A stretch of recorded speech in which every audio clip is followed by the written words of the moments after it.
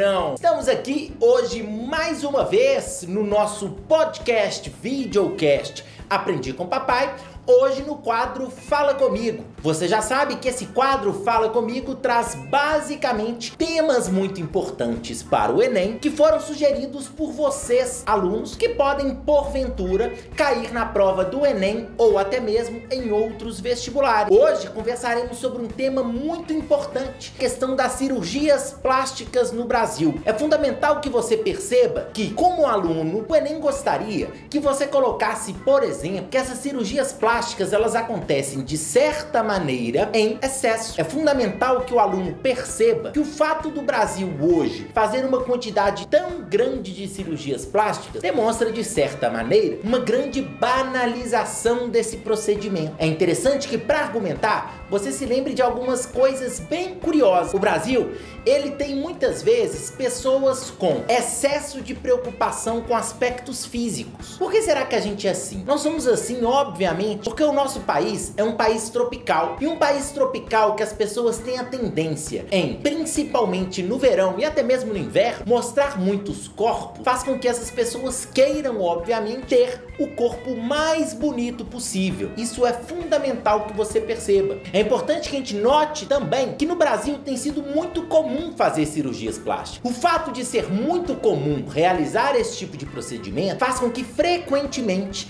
tenhamos um número absurdamente grande de jovens que já consideram que esse procedimento faz parte do que a gente chama de naturalidade do crescimento. É muito comum que as pessoas enxerguem, por exemplo, como um ponto de transição da adolescência para a vida adulta, muitas vezes uma cirurgia plástica para tentar arrumar algo que seja considerado por essa pessoa algum tipo de imperfeição. É fundamental que você saiba que de acordo com a Sociedade Internacional de Cirurgias Plásticas para fins estéticos, o Brasil é considerado hoje o segundo país do mundo que mais realiza cirurgias plásticas. Estamos atrás somente de quem? Quem? Quem? Adivinha? O Brasil está atrás somente dos Estados Unidos, sendo que em alguns momentos nós conseguimos inclusive ultrapassar os Estados Unidos na quantidade de cirurgias. Isso acontece também porque no Brasil, se comparado a outros países, o procedimento de cirurgia plástica é relativamente barato. Nós temos hoje uma possibilidade muito grande dos médicos oferecerem vários e vários e vários parcelamentos para que uma pessoa realize uma determinada cirurgia, o que faz com que esse procedimento seja ainda mais banalizado. Os três três casos que as pessoas mais buscam cirurgias, as três cirurgias mais comuns. Adivinha quais são? Em primeiro lugar, lipoaspiração, do aumento de mama e depois a abdominoplastia. São as três cirurgias mais buscadas pelos brasileiros.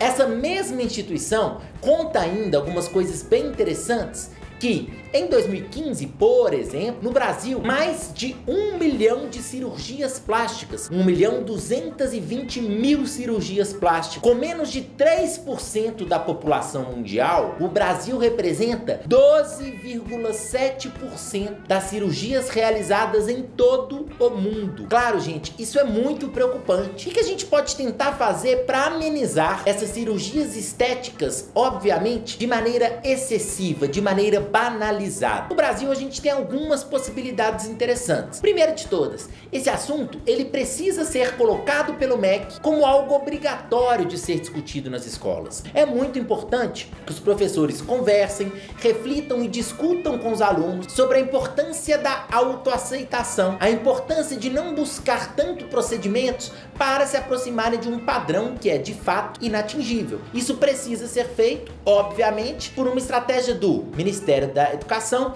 que deve deixar isso como obrigatório. Essa é a nossa primeira proposta. Segunda proposta de intervenção. Quem deve se preocupar com a saúde do brasileiro é qual ministério? Ministério da Saúde. O Ministério da Saúde deve fazer propagandas discutindo sobre esse tema, discutindo sobre essa quantidade excessiva de cirurgias plásticas, fazendo com que as pessoas reflitam se de fato é necessário ou não fazer uma determinada cirurgia. Outra coisa que é muito preocupante, muitas vezes as pessoas buscam essas cirurgias por causa de alguma questão psicológica. Às vezes a autoestima está muito baixa, aquela pessoa não está se sentindo bem, de repente ela acabou de terminar um relacionamento e ela pensa que se ela se sentir ou se ela fizer algum procedimento para se sentir mais bonita, a vida pode ser diferente. É importante, gente, que sempre que alguém vai fazer uma cirurgia plástica, que ela tenha um laudo psicológico atestando que aquela pessoa especificamente realmente tem uma necessidade muito grande de fazer aquele procedimento porque ela está muito insatisfeita e que é, foram tentadas alternativas